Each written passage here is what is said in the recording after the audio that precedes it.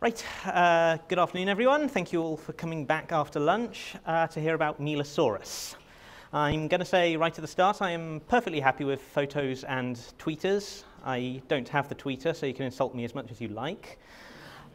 So synapsids, the mammal line amniotes, dominated terrestrial ecosystems during the late Carboniferous and the Permian. During the Pennsylvanian and the Cisuralian, the early Permian, it was this paraphyletic grade of six families known as pelycosaurs that were particularly diverse and abundant. The pelycosaurs include all synapsids that are not therapsids, the therapsids being the lineage that survived into the present day as mammals. The pelycosaurs give us some of the earliest evidence in amniotes of macropredation, including the sphenacodontids here, such as the toy maker's favourite Dimetrodon. They give us some of the earliest evidence in amniotes of high-fibre herbivory, Edaphosaurus here, the other famous sailback. The Varanopids, a family of small to medium-sized carnivores and insectivores, give us some of the earliest evidence in terrestrial vertebrates of group living. Uh, we have this lovely fossil from South Africa with an adult and four juveniles, possibly living together in a burrow. And we have two families of pelycosaurs that have at least been suggested to have made the transition back to water the Ophiacodontids and the herbivorous Caseids, although in both cases this is extremely uncertain. um, now, given their importance in early terrestrial ecosystems, it is vital that we have a good handle on pelycosaur taxonomy and evolution. And there lies something of a problem. Pelycosaur taxonomy is extremely out of date.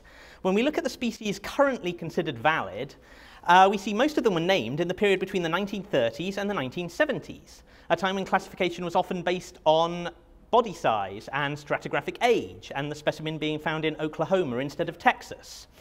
So while there have been efforts in recent years to revise pelycosaur taxonomy, there remains much to do. With that said, on to our subject for today. Milosaurus mccordi, uh, named by Robert DeMar in 1970 based on some postcranial material from Illinois. The specimen hails from the Mattoon Formation, which is of roughly Gzhelian age, the last stage of the uh, Carboniferous. Milosaurus was assigned to the Varanopidae. Uh, now, at that time, Varanopids were considered transitional between the primitive Ophiacodontian pelycosaurs and the derived Sphenacodontids. So in making this assignment, DeMar described several characters that Milosaurus shared with Sphenacodontids and several plesiomorphic characters. In more recent years, however, with the introduction of cladistics, this classification scheme has been overturned. Varanopids are no longer considered closely related to sphenacodontids. The characters previously used to unite them are deemed to have been acquired convergently. Through all this, though, Milosaurus was largely ignored. It was only once very recently included in a phylogenetic analysis by Freddie Spindler. Uh, his matrix focused mainly on the varanopids, but included a fair smattering of other pelycosaurs, and Milosaurus came out as an Ophiacodontid. That was a position that was never before suggested for it, um, and there are some problems with their scorings of Milosaurus. Uh, they were based primarily on the drawings in the original description and included the non-holotype material. Both of these facts, as we will soon see, are extremely problematic. Now, what attracted me towards going to have a look at Milosaurus was this drawing in the original description of a femur. Femurs are a good bone to have for pelycosaurs. Uh, there's lots of good characters in there, and this femur looked positively beautiful compared to some of the scrap we have from other Carboniferous pelycosaurs. So you can imagine my consternation when I arrived in Chicago and was presented with that. I spent probably an inordinate amount of time trying to work out whether I was looking at the right bone uh, even allowing for the fact that the artist might have been trying to reconstruct rather than draw accurately, the two are completely differently proportioned. This long, slender shaft, quite characteristic of varanopids, is not there. The prominent adductor crest is not there, and nor is there really any evidence of damage or erosion that can account for its absence. I eventually decided that this was the correct holotype femur based primarily on the morphology of the distal end. The anterior condyle is broad and slightly flattened. Uh, that's a morphology that's evolved a couple of times in pelycosaurs, but the posterior condyle is pretty unique from what I've seen. In most pelycosaurs, this is a bulbous condyle, a sort of half-sphere shape.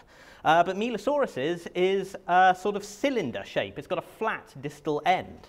And we see this morphology in the original drawing, although the more eagle-eyed of you may note that the drawing appears to be a mirror of the bone.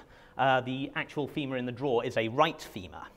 I don't know what's going on here. I don't know if the artist was trying to draw it from memory or if uh, there was an error in whatever the 1970s equivalent of a photocopier is. Uh, but for the present, I'm working on the basis that this is the correct holotype femur. So along with the uh, unusual distal morphology, uh, the unusual prominence of the internal trochanter is uh, quite characteristic of Milosaurus.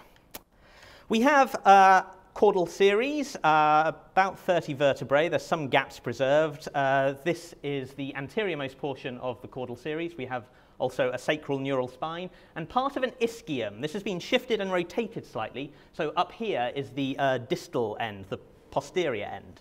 And it's this ischium that gives us one of the better clues as to what Milosaurus actually is. Uh, in most pelycosaurs, the ischium tapers as you go distally, but in Milosaurus it appears to be expanding. That's quite a good character of the Sphenacomorpha, the clade that contains the Edaphosaurids and the Sphenacodontids. Also supporting this assignment are the unusually short caudal ribs uh, that barely extend posteriorly beyond the posterior limit of their vertebra. We have left pairs, uh, a few bits missing, and the proximal ends of the astragalus and the calcaneum have been cracked away from the main body. We can still see a couple of good characters in there. Uh, the astragalus is the classic L shape of pelycosaurs, a uh, broad body and a narrow neck. The neck is quite long relative to the body, and the calcaneum is longer than it is broad. Both of these were characters that were in the past used to unite uh, sphenacodontids and varanopids in the old 1940s to 1980s classification scheme, but no longer. Some other postcranial fragments, there's a dorsal ilium process uh, that was figured in the original uh, description, and in a box labeled associated fragments, I found part of a radius and part of a pubis. All of this is uh, pretty plesiomorphic. Uh, the pubis actually gives us one of the better indications that this is not, as was thought by Freddie Spindler, an Ophiacodontid. This lateral boss that you can see here is dorsally orientated in Ophiacodontids. So, uh, along with the holotype, four specimens were assigned by DeMar to Milosaurus. Two of these have since been lost, uh, the maxillary teeth and a neural arch that wasn't even figured in the original description. We still have a dorsal vertebra and what was originally described as a dorsal rib. Now, none of this material actually overlapped with the holotype. They were assigned to Milosaurus based on them being of roughly the right size and Milosaurus at that time being the only pelycosaur known from that locality.